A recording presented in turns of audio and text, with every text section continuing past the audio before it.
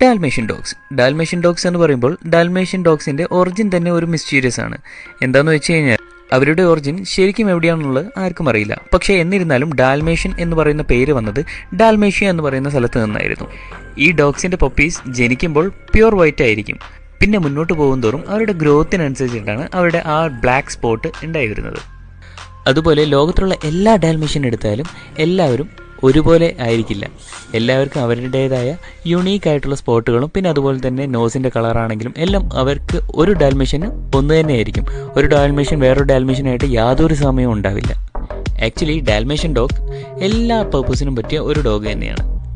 ഹണ്ടിങ്ങിനാവട്ടെ റിട്രീവിങ്ങിനാവട്ടെ അല്ലെങ്കിൽ സ്പോർട്ടിങ്ങിനാവട്ടെ എന്തിനു വേണമെങ്കിലും ഈ ഡോഗ്സ് വളരെ ആക്റ്റീവ് തന്നെയായിരിക്കും.